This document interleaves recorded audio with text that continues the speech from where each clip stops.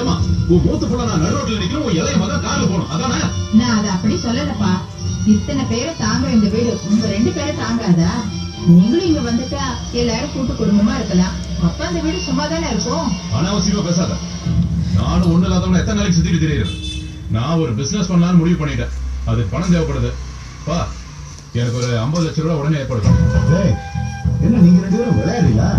இவன் ஐம்பது லட்சங்கிறா நீ ஐம்பது லட்சங்கிறா உங்களுக்கு எல்லாம் குடும்ப சூழ்நிலை தெரியுதா இல்லையாடா? ஒரு கோடி ரூபாய்க்கு நான் எங்கே போவேன்? தனுஷ் கோடி போ இல்ல தெருக்கோடிக்கோ எனக்கு அதெல்லாம் தெரியாது. அவனுக்கு ஐம்பது லட்சம் கொடுக்கணும்னு முடிவு பண்ணிட்டீங்களா?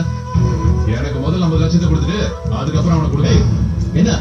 வேணுமே வம்பு பண்றியா நான் சாஃப்ட்வேர் கம்பெனி ஆரம்பிக்கிறத பத்தி பேசிட்டு இருக்கேன். நீ என்ன பிசினஸ் பண்ண போற? நானு ஒரு ஷாப்பிங் மால் கட்டலாம்னு இருக்கேன். ஏன்னா பதினெட்டு பட்டிக்கும் இங்க ஷாப்பிங் மால் இல்லல்ல. என்னது? ஐம்பது லட்சம் ரூபாய் ஷாப்பிங் மாலா டேய் இது விருதாவாதம்டா டேய் நான் ஏதோ ஒரு தொழில் பண்றேன். உனக்கு என்ன உனக்கு ஐம்பதுனா எனக்கும் ஐம்பது. அவ்வளவுதான் மேட்ரு இது என்னப்பா நியாயம்? அப்பா இதுதான்ப்பா நியாயம். அவன் தான்ப்பா வீட்டுக்கு மூத்த மகள். அவனுக்கு கொடுங்க. மிச்சம்னா எனக்கு கொடுங்க. ஏய்.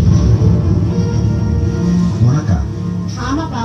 நானும் பிசினஸ் பண்ணலாம்னு முடிவு பண்ணிருக்கேன் எனக்கும் ஒரு ஐம்பது லட்சம் ரூபாய் பணம் கொடுங்க. இங்க பாருங்க. ஏன் இப்படி ஆளாது கூட என்னை கொள்றீங்க கொஞ்ச நாள்ல திண்ணையில சாஞ்சிடலாம்னு இருக்கேன். அதுக்குள்ள என்னை ஊச்சி எடுத்தீங்கன்னு வச்சுக்கோங்க. என்கிட்ட நான் இப்பவே பரதேசம் போயிடுறேன். அப்பா நீங்க எனக்கு பணம் கொடுங்கப்பா. உங்களை காலம் உட்கார வச்சு கரியும் சோறுமா போடுறேன்ப்பா நானு. ஏன் ரெண்டு ஆம்பளை பசங்களுக்கு நீ எதுக்கு குறுக்க வந்து ஆட்டைய போடுற?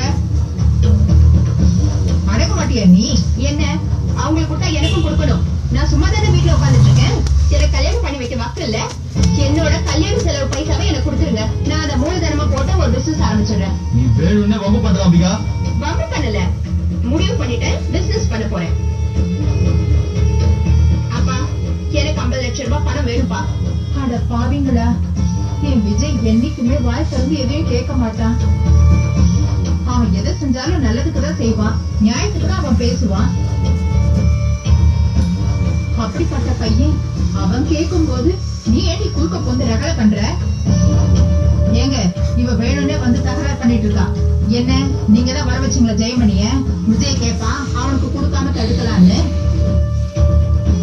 யார் ஏன் ஐம்பது லட்சம் பணம் பையனை நானா இத பாருங்க யார் முதல்ல கேட்டாங்களோ அவங்களுக்கு கொடுங்க. யாரு முதல்ல பிறந்தவங்க இந்த வீட்டுல அவங்களுக்கு கொடுங்க.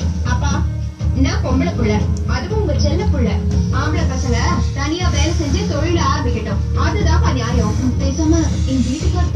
தொடங்குற ஜெனரி மாமாவையும் அம்பிகாவை பார்ட்னரா சேர்த்துக்கலாமே.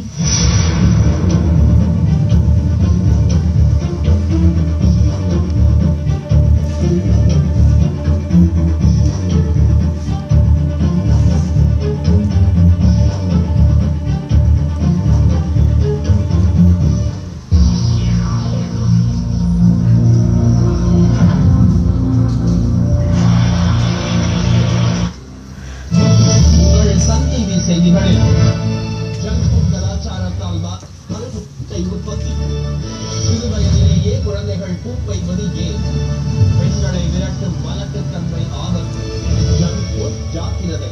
இன்று இரவு ஏழு மணிக்கு உங்கள் சன் செய்திகளில் காண தவறாதீர்கள்